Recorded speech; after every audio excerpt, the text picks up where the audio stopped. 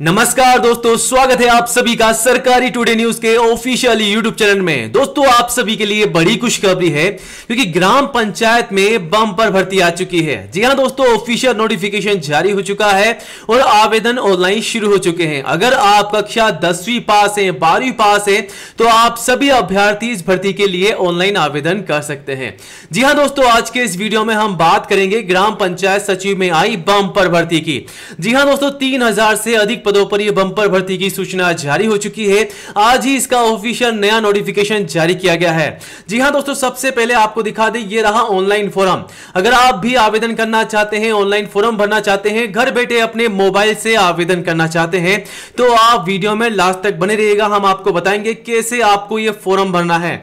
जी हाँ दोस्तों, अगर आप भी इसमें सिलेक्शन पाना चाहते हैं, ग्राम पंचायत की भर्ती में नौकरी पाना चाहते हैं तो वीडियो को लास्ट तक दिखेगा और ज़्यादा से ज़्यादा अपने सभी दोस्तों को साथ में शेयर कीजिएगा, क्योंकि आपके सभी दोस्तों को इस भर्ती की जानकारी होनी चाहिए। जैसा कि आप देख सकते हैं, आवेदन शुरू हो चुके हैं बंपर भर्ती है अलग अलग पोस्ट पर ये भर्ती जारी की गई है।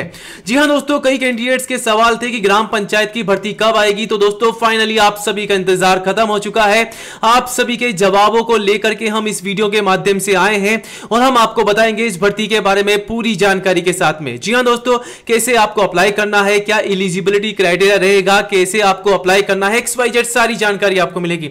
तो फटाफट से वीडियो को लाइक कर दें और अपने सभी दोस्तों के साथ शेयर कीजिएगा। रोज़ाना सरकारी नौकरी की जानकारी के लिए आज ही हमारे यूट्यूब चैनल को सब्सक्राइब करें। वीडियो के नीचे लाल बटन को दबा दें, साथ ही साथ बेल आइकन ज़रूर दबाएँ ताकि आने वाली भर्तियों की सूचना आपको रोज़ाना मिल सके आपके मोबाइल पर। तो चलिए फटाफट से आपको सीधा ऑफिशियल वेबसाइट पर ही लेके चलते हैं।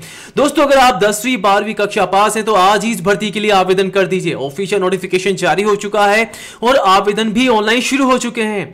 जी हाँ दोस्तों उम्र सीमा है 18 से 40 वर्ष वेतन आपको साठ हज़ार पाँच सौ रुपए प्रति माह मिल रहा है। ऑल इंडिया की भर्ती है आ, महिला और पुरुष मेल और फीमेल दोनों ही कैंडिडेट्स आज ही ऑनलाइन आवेदन कर लीजिए। दोस्तों सीधा आपको ऑफिशियल वेबसाइट पर लेके चलते हैं। जैसा कि आप देख सकते हैं हम हमारी ऑफिशियल वेबसाइट पर आ चुके हैं। अगर दोस्तों आप भी ऑनलाइन आवेदन करना चाहते हैं नोटिफिकेशन डाउनलोड करना चाहते हैं तो आज ही हमारी ऑफिशियल वेबसाइट पर आए। गूगल में सर्च करें www.sarkari-today-news.com जी हाँ दोस्तों सरकारी टुडे न्यूज़ डॉट कॉम जैसे ही आप गूगल में सर्च करेंगे आप सीधा हमारी ऑफिशियल वेबसाइट पर आ जाएँगे।